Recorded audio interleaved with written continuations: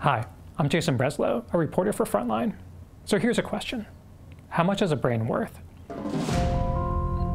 That's a question at the heart of a settlement between the NFL and thousands of ex players who are suing the league over head injuries.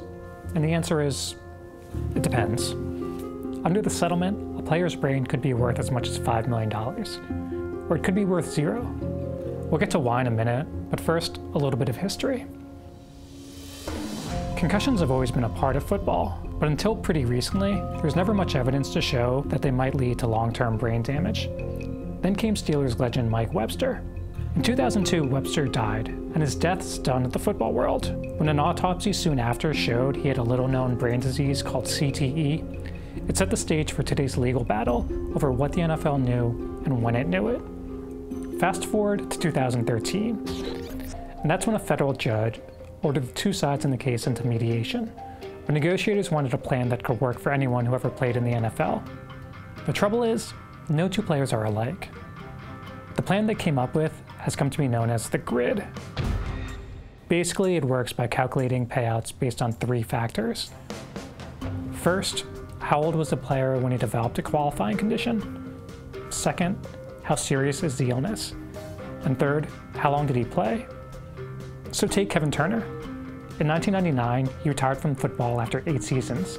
By the time he turned 45, though, Turner had been diagnosed with Lou Gehrig's disease. Based on the grid, he'd get the maximum payment of $5 million. Awards start to go down for players diagnosed later in life. And the same goes for someone with a less serious condition, or if he played fewer seasons in the league. An 80 year old with Parkinson's, for example, would get $50,000. It's important to remember that the deal does not include any admission of wrongdoing by the NFL. It also doesn't mean that players could have won their case in court.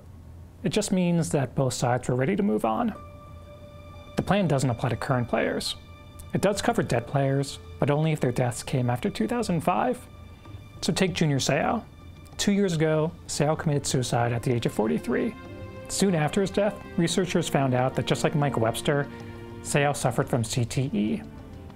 Under the settlement, Seau's family would be eligible to receive $4 million.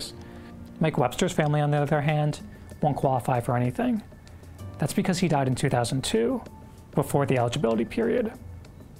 By the league's own estimates, nearly one in three ex players will develop at least one of the brain conditions that are covered by the agreement. Only 60% of those eligible, though, that's about 3,600 people, are expected to file a claim. If the deal is approved, that leaves the NFL on the hook for about $1 billion.